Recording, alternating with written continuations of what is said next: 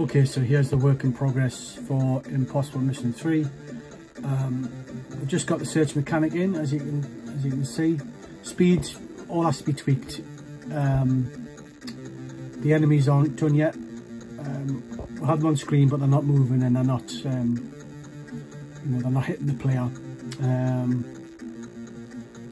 the small lifts in the rooms are all done. We still have to work on when you walk off a platform, you know, how fast you fall, stuff like that. Um, and we, we have the main lift system all working. There's an in-game map which isn't in this version yet, but it's you know it's done it's there.